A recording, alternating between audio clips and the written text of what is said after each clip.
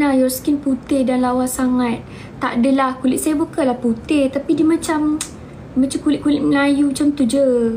Asalkan sihat. Di, saya tak nak saya tak nak putih. Saya nak kulit yang sihat je. Saya tak nak kulit yang macam kusam macam tu. Lepas tu saya campur dengan ni pula. Kalau saya tak pakai makeup tebal-tebal.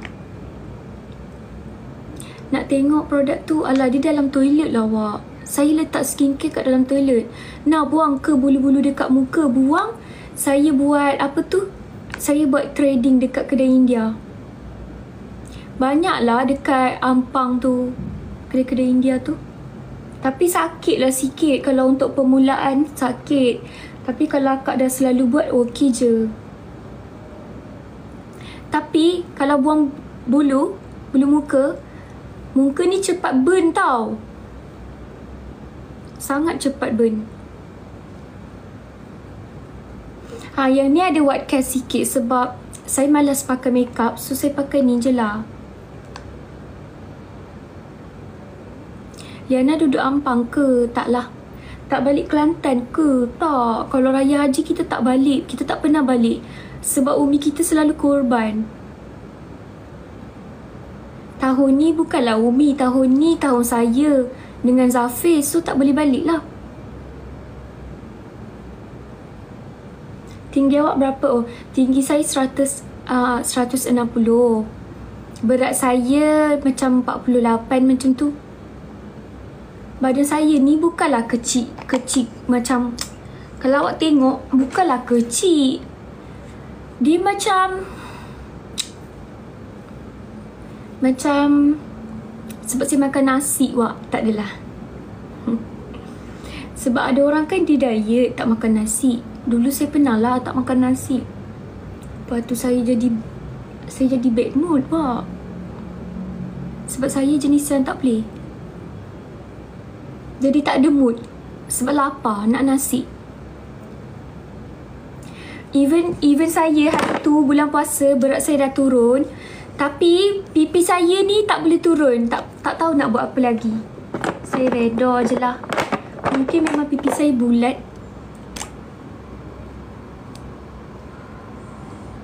Saya nak pakai makeup ke tak eh? Kejap.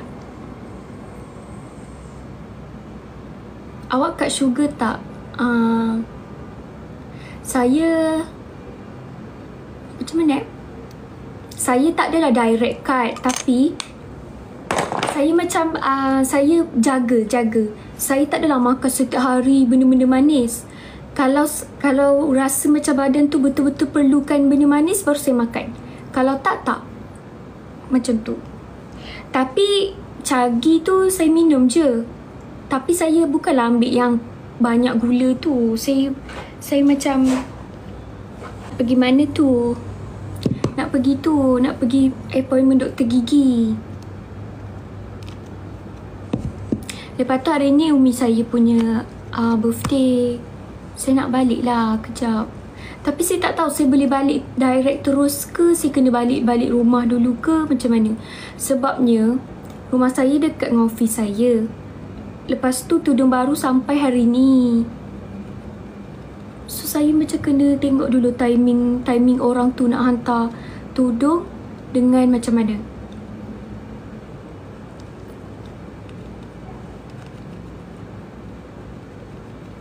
Bila bila collection baru keluar? Uh, collection baru yang printed shawl tu lagi 3 minggu. Yang tudung kita yang selalu kita pakai shawl kosong tu minggu ni dah boleh release dah. Cumanya saya kena pergi shoot dulu.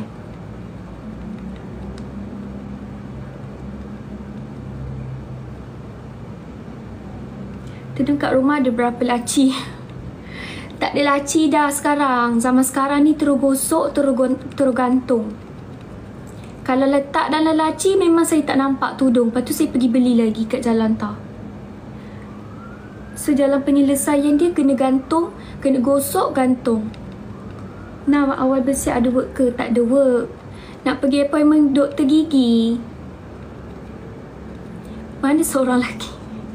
Soalan dia orang-orang ni sama je tau. Saya dah macam AI dah buat Kena sebut banyak kali Yang ni cushion korang. Saya pakai cushion. Cushion foundation. Kalau saya malas pakai makeup, saya pakai cushion je.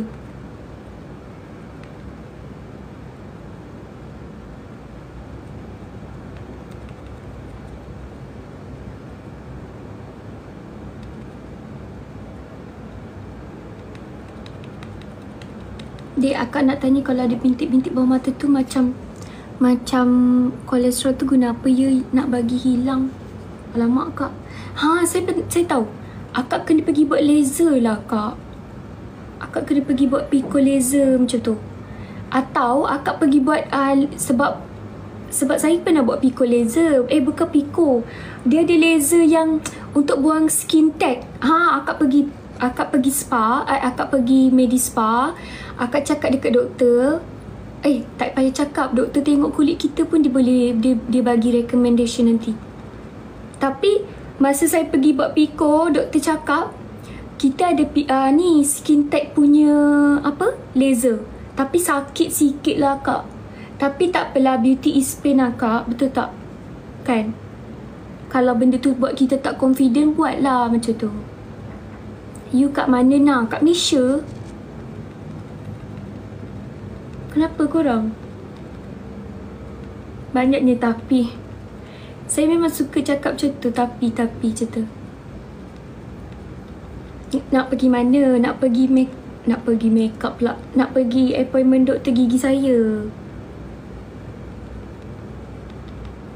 Saya tak pernah saya pernah buat laser sakit gak lah ya.